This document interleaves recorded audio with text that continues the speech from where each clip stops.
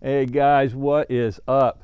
Okay, so today we're going to cover how I give our motorhome a quick wash and a quick wax. It takes me about 30 minutes. Details coming up on RV Street.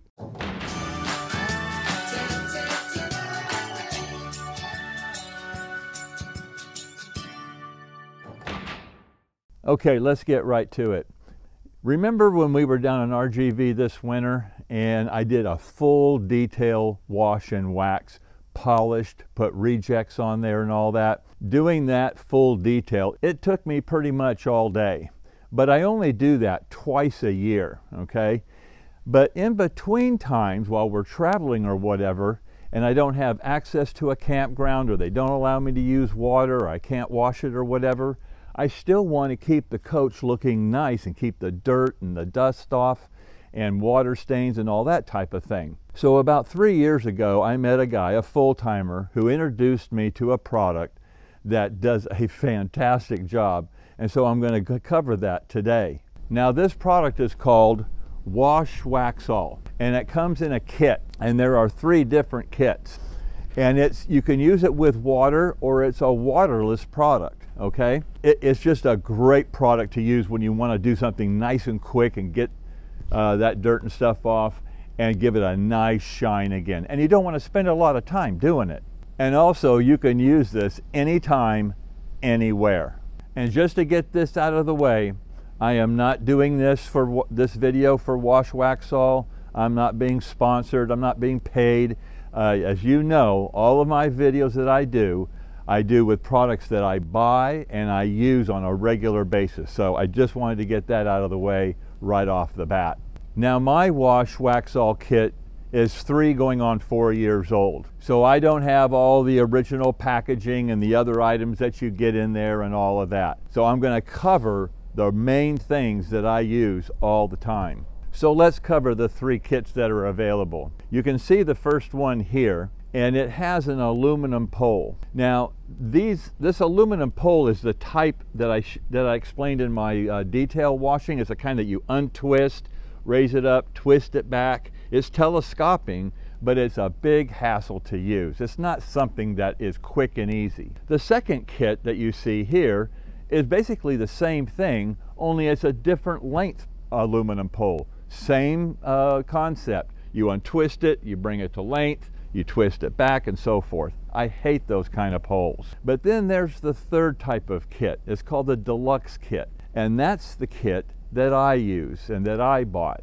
You've seen me use this pole before. It has this type of a pole. There's no twisting, there's no turning and locking. It has these little holes here where you can bring it to the length you want and lock it right in there. If you need it longer, you bring it forward and lock it in there. When you're done, it just closes right up. And this is why this is the kit that I recommend. For doing RVs, man, this thing makes uh, washing and using this Wax All a snap.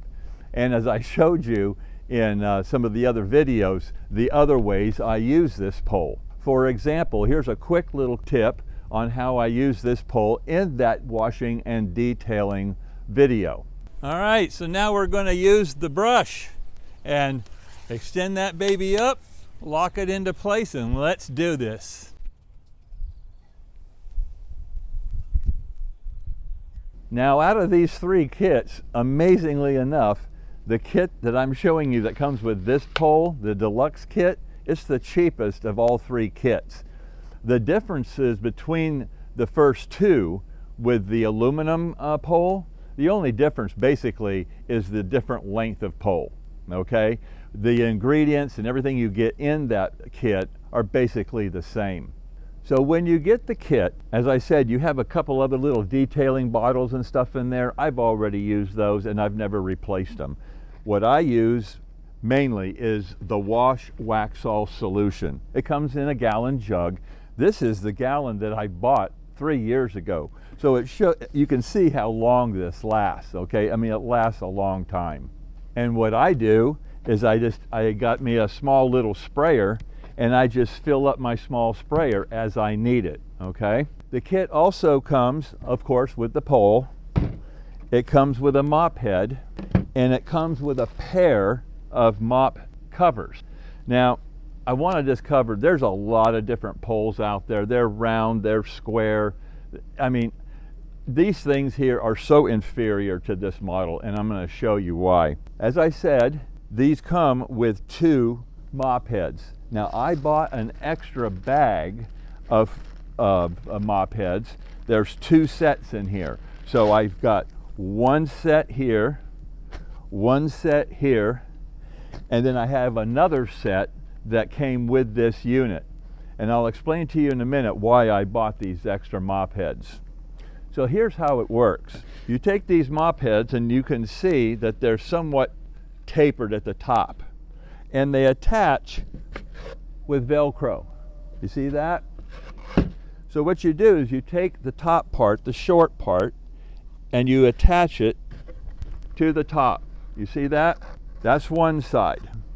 Then you take the other side and you put it here like this. So now you have a mop head that has that kind of a shape to it, okay? And it joins here at the top. You screw the pole in here and this part swivels, okay? So you can actually, if you look here, when you're cleaning the coach, you, this will swivel. So as you are applying pressure, this will come down and up as you need to, okay? You'll notice also inside this mop head, you have a wet side and you have a dry side. So on the wet side is where you apply the solution. So let me show you how this works. You take the pole and you screw it into the head, tighten it up, you take the solution and you just give a couple quick, maybe three or four squirts there when it's dry, when you're first starting out, okay? Now come on over here, let me show you how this works. So you start from the top with the wet side. You extend the pole up, lock it into place, and you just come down like this here. You see that? And then you turn it over to the dry side and dry it. Now, for any of you who think that this is going to hurt your uh, gel coat or paint, it's not going to do that. Okay, it just is, it just doesn't. I have been using this thing for three years. This thing will take off all that light surface dust and all that. And if you remember, because I polish this thing uh, twice a year, I mean, this has got a really nice polish on it. Plus, I've protected it with Rejex. So this surface is very smooth. But when you're sitting in a campground and cars are going back and forth and you get that light dust, this will get that right off of there. You use the wet side first, turn it over, and do the, and do the dry. Once you've done about that much, you come back to the wet side, give it a couple more squirts, and continue. Just like that. Turn it over and dry. If you want to do your windows, you can do those two. And that's it. I mean, just think about what we just did. We didn't need a ladder, so there's no getting on the roof, or there's no putting a ladder here, you're having to get up there by hand and all that nonsense. You literally can take it just from the ground. And I can do this whole coach in 30 minutes. Very little effort. Now just to show you how this pole is sufficient, this is fully extended. Okay, I mean, look at that. I mean, there is so much room this pole is more than long enough to do any coach. So once you've done the tall part of the coach with an extended pole, you collapse the pole, you go back to the wet side, couple more squirts, and come sideways like this. I mean, you can see how fast this is. I'll come back about that far, turn it over to the dry side, and that's it. I mean, you see how fast this is. And as you guys know, I mean, I'm really anal about keeping our coach clean. So if you're anal about it too, and you you like to have a clean coach, man, I'm a, and you don't want to go through all the hassle of washing and detailing and all that nonsense, this is the way to do it. Okay, so I have just finished this whole entire side and look at that. We're, we're here in Ohio and we drove all the way from New York to Ohio. It was like 430 miles or something like that. And we landed here and you know, I'm sitting out here and I'm going, man, this coach needs a quick wash. And so that's why I decided to do this video and show you how I do this. And there you go. I mean, look how nice and clean and shiny that is. I never had to get out my bucket of soap, my hose, my ladder, all that stuff. And there you have it. And besides that, this particular park, they don't allow you to wash your coach. But I can do this. It's waterless. Now let's talk about the front of the coach, okay? You can, you can reach all this by hand. So there really is no need for a pole, right? So what I do here is I use a rag and I spray it on here. But I wanted to show you something here because a lot of you who follow me uh, on our channel, you remember when I did the uh, faded graphics back in RGV? Let's go take a quick look at how they're doing. It's almost been a year. Let's go take a look. Look how good these are doing, okay? I had like uh, 325,000 people uh, looking at this video. Got great reviews, by the way. But there were some people there that said, ah, that's not going to last two months. That's not going to last four months, blah, blah, blah. Well, there's the proof in the pudding. But you can see uh, how good that came out. So let's go back up to the front. So you can see here, this is the last one I have to do. I'm going to do this one this winter down in RGV.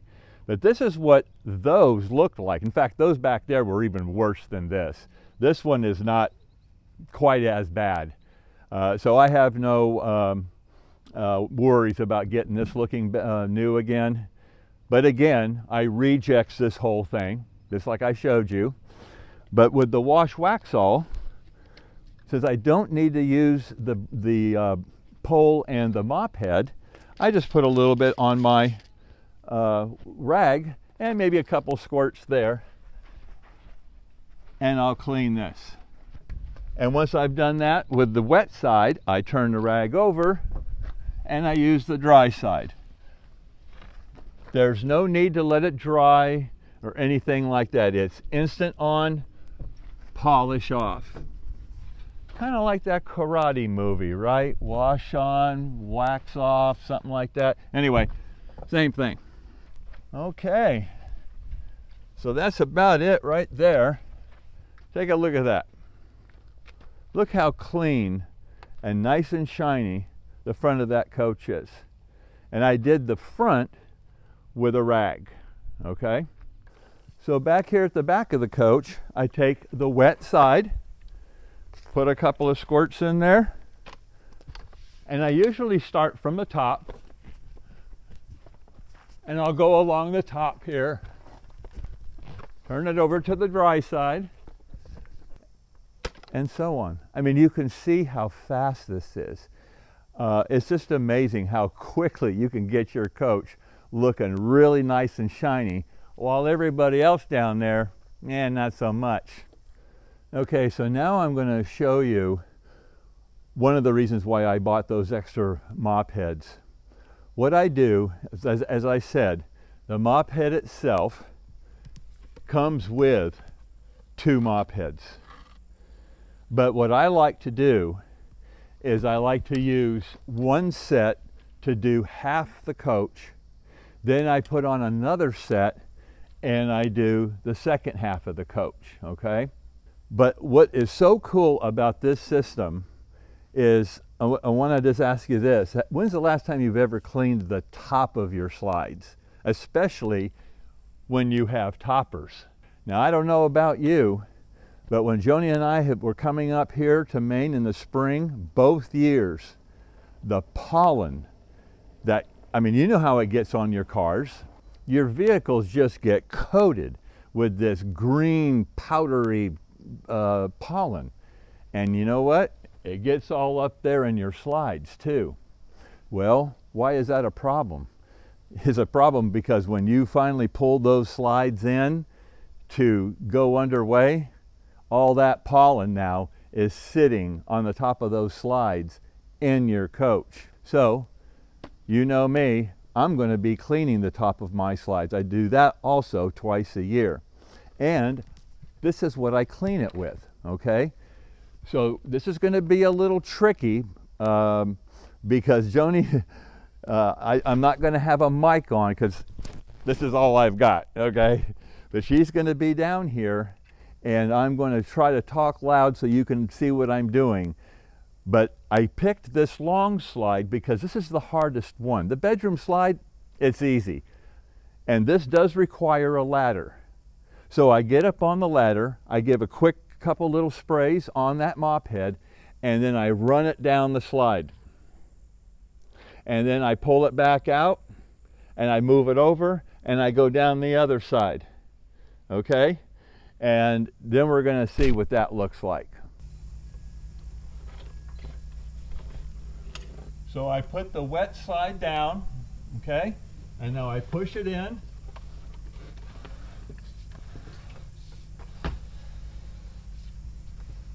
And I pull it out.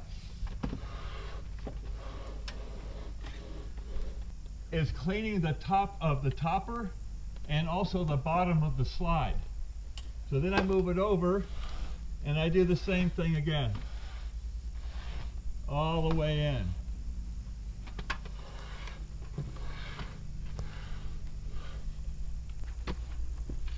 Now, let's take a look. So you can see that it's really not that dirty because I just did this about a month ago, but I wanted to do it again to demonstrate what I do. Uh, this thing here, uh, man, I tell you what, this thing, when that, right after springtime with all that pollen stuff, this thing is nasty. But what's beautiful about this is it cleans the top of the topper and the bottom of the slide and with it being extended like this, the reason I picked this large slide to show you this is because this is the hardest one. Why? Because it's the longest. So what I just did, you see there, I got half of that slide up there. Now what I'll do is I'll go ahead and put the ladder on the other side and come back the other way. I'm going to take the camera up there and I'm going to go show you what that looks like since we just cleaned it. Can you see that? You see how nice and clean that is underneath there? There's no dirt. The topper up here is all nice and clean. And that floor right here is nice and clean. And while we're at it, since we're right here, I'll give it a couple more squirts and I'll do the end of the slide. That's the man right there. So you can see how easy that is. I mean, for me, uh, doing those quick washes and it puts on a light wax uh, on top of it, man, it makes this cleaning this coach so easy. And putting that light wax over that reject is not going to hurt it one stinking bit, okay? So I usually will use this uh, maybe four or five times a year, maybe more. Depends on how dirty it gets. You know, you never know where you're going to be. Uh, but I do a full detail twice a year, and then in between when we're camped somewhere and that coach is looking kind of funky, I get out my mop and pole, take my spray bottle, and I'll wipe this thing down in about 30 minutes. So one last thing, after you have gone around the whole coach and used all these mop heads, you just tear them off of the mop head by Velcro, right, like I showed you, and you just take these and throw them in the washing machine, just like you would anything else, but don't throw them in the dryer. Hang them outside like we do with my crunchy underwear. Remember that, my RGV video? Remember, wash wax all is not for when your coach gets really nasty, like driving in the rain and you get to your destination and your coach and your tote is just filthy. That's going to require a full wash and detail like we did in RGV. This wash wax all is for those nice light touch-ups, so just keep that in mind. And this product is really popular amongst full-timers. Just keep your eye open in these campgrounds and you'll see what I'm talking about. This is how I got introduced to this. So Joni and I, about three and a half, four years ago, we were walking through a park and we came across this beautiful uh, diesel pusher. And I looked at Joni and I said, man, look at that. That thing is gorgeous. I'll bet you that thing is only four or five years old. Well, the guy that owned that was sitting outside and I just couldn't resist. I walked up to him and I said, man, how do you keep this thing so beautiful? He's the one that introduced me to Rejex and wash Wax All. Uh, I was a believer then.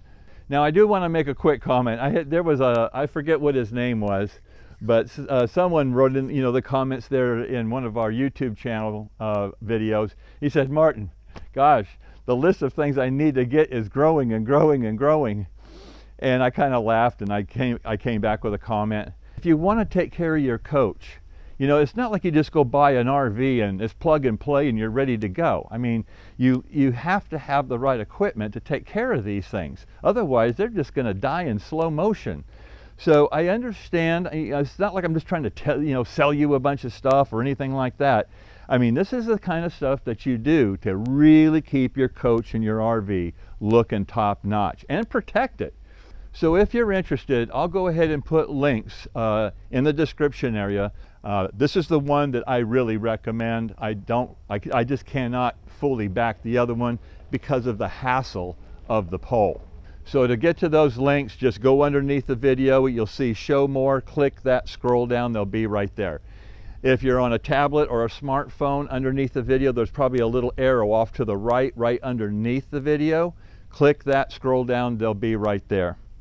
And again, Joni and I want to really thank you so much uh, for supporting our channel and using our links. I just can't tell you how much uh, that encourages us that uh, that you help us. I mean, we're retired like a lot of you are, and doing these videos and using our links like this really helps us out. So thank you, thank you, thank you. So if you liked this video, if this helped you, if you thought, wow, Martin, that's a really good thing, give me a like button down there. Let me know that you liked this video. And if you're new to our channel and you're not familiar with all the different DIY jobs that we've done and upgrades and stuff like that to make RVing safer, easier to work on and all that stuff, go to our main YouTube channel page and click playlists. Then on that page, click RV Motorhome, upgrades, maintenance, and DIY how-tos. There's already a wealth of information there. And if you haven't subscribed to our channel already, please consider subscribing. It's free. It, it, doesn't cost any money to subscribe to our channel. Just click subscribe and don't forget to ring the bell off to the right so you'll be notified the next time we upload our next video.